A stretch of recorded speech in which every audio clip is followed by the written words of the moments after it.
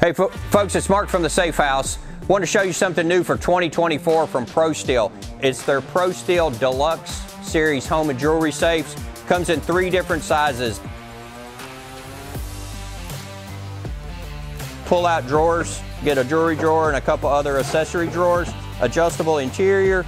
You got a door package, and then security wise, you get these inch and a quarter bolts on four sides of the door, a 10 gauge door and body and a two hour fire rating. So if you have any questions about this safe or any other safes we have, give us a call here at our Nashville office or go to nashvillesafehouse.com.